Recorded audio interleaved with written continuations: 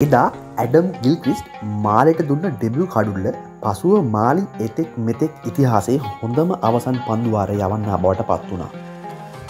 අද දුනිට මාලි ඇතින් ඔහුගේ පළුම කඩුල්ල වන ලෝකේ හොඳම පිතිකරුවෙකු කෝලට පමණක් දෙවෙනි වුණ ස්ටීව් ස්මිද්‍ය අත්සනහා පිටියේ විනිසුරුවරුන්ගේ අස්සන් සහිත ජාත්‍යන්තර පිටියේ යොමු කෙරූ පළමු පන්දුව ලබා දුන්න. ඒක පට්ටම ටැලන්ට එකක්. නම දුනිත් වෙල්ලාලගේ වය සවරුද්දාහ නමයයි.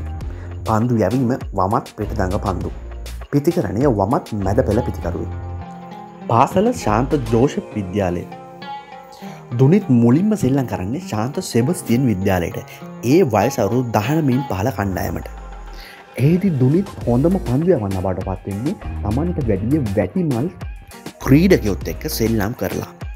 ඊට පසු දුනිත් සෙල්ලන් කරන්නේ ශාන්ත ජෝසප් විද්‍යාලයට. එහිදී අවසන් වුණු දානමෙන් පාල ඩිවිෂන් වන් ටූනමට එක ශූරතාවේ ජෝෂප් විද්‍යාලයට දිනා දෙන්න මුල් වෙන්නේ දුනි. ඒ ලකුණු හතලිස් පාහට කඩලු පහක් එක්ක ලකුණු අසූ අටක් රැස් කරමින්.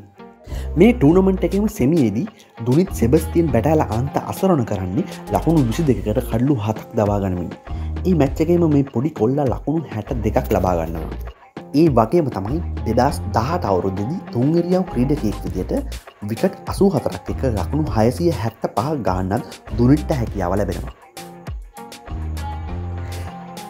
එමවුරුද්දම පැවති ෆෝනේෂස් අන්ඩ 15 ටූනමට එක සූරතාවේ ලංකාවට ගේනත් මුල්ලුනේ දුනිත් වෙල්ලාලගේ ඒකෙදි කඩලු දහ නමයක් බිඳහෙලනවා.